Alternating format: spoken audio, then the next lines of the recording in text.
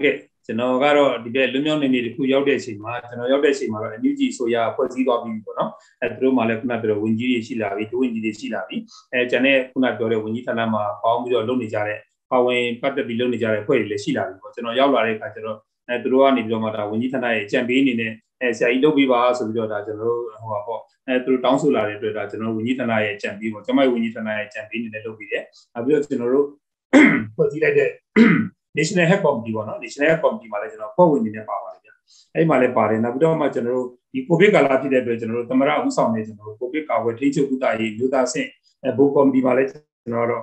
ကျမရဲ့ဝန်ကြီးဌာနအကြံပေးအနေနဲ့ဖွဲ့ဝင်နေနေပါဝင်ဆောင်ရွက်ပေးနေပါတယ်အဲ့တော့ကျမရဲ့ဝန်ကြီးဌာနနဲ့ပူးပေါင်းပြီးပါလေဆောင်ရွက်ပေးနေလဲဆိုတော့ကျမရဲ့ဝန်ကြီးဌာနဆောင်ရွက်တဲ့ကိစ္စတွေတော်တော်များများမှာအဲကျွန်တော်တို့ပါဝင်ဆောင်ရွက်ပေးနေပါတယ်ကျမရဲ့ဝန်ကြီးဌာနကတော့ဒါအခုကအဲဂျာကာလာဖြစ်တဲ့အတွက်ဒါကျွန်တော်တော်လိုင်းကာလာလည်းဖြစ်တယ်ဂျာကာလာလည်းဖြစ်တဲ့အတွက် ဒါကျွန်တော်တို့စက်တာလေးတွေခွဲပြီးတော့ဗောနော်နံပါတ်1ကတော့ပြည်သူ့ကျန်းမာရေးကဏ္ဍပေါ့နောက်တစ်ခုကတော့လက်ရှိကြုံတွေ့နေရတဲ့ကိုဗစ်ကာကွယ်ထိန်းချုပ်ကုသရေးကဏ္ဍမှာတော့ဒါ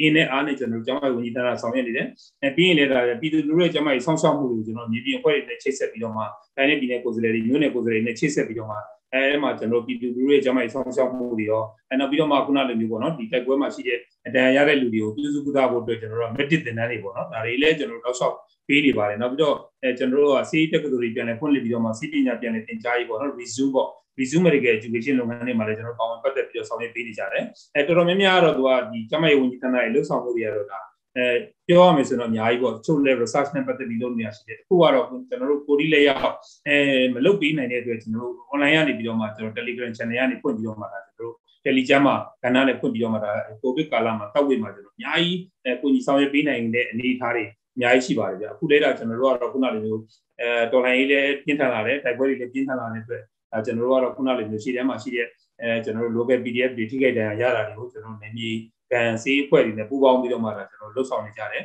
အဲကျွန်တော်လိုအပ်တာတွေအကုန်လုံးပံ့ပိုးပေးနေကြတယ်ကျွန်တော် CPP ခြေဆိုင်ဆေးဝင်လေးတွေလည်းကျွန်တော်အဲတက်နိုင်သူတွေလှုပ်ပြီးတော့မှဒါဒီလူလူကိုဝိုင်း